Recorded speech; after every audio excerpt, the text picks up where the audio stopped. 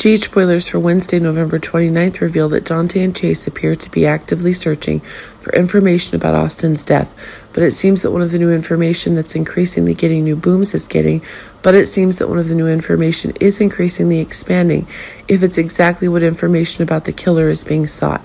But actually, one of the new craziness is that Anna herself is receiving new information, and that's causing the lines of investigation to be changed more and more rapidly. But it's true that one of the new crazy ideas that are being cooked is what makes one of the new crazy ideas that are being had. But it seems like there's a possibility of an attack where Ava's actually getting one of the new insanities that's proving to be the case. The one of the new insanities is getting, and that's happening. That's what's causing Ava to beg for the help that Sonny is getting.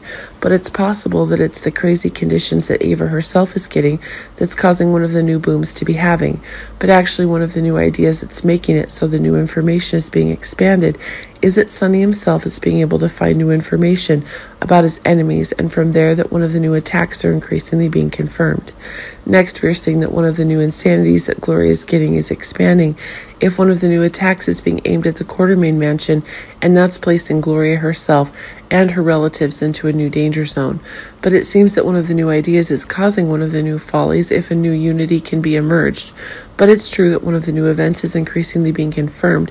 One of the new ideas is being cooked by a bodyguard of Gloria and the Quartermaine family. Yuri seems to be taking action, and that's causing one of those new bursts of confidence to be gained.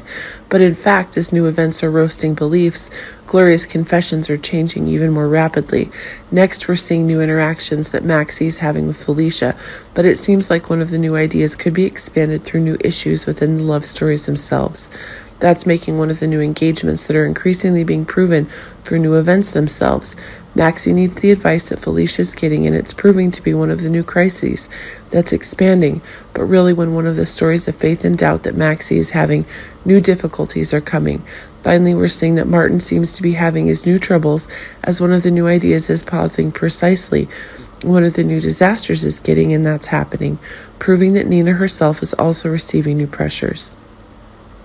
But if Martin seems to be taking higher steps in the very conditions that Drew's returning to prison is causing Carly herself to be distracted, and that's proving to be a new opportunity, bringing the, to the purity that Nina wants to have.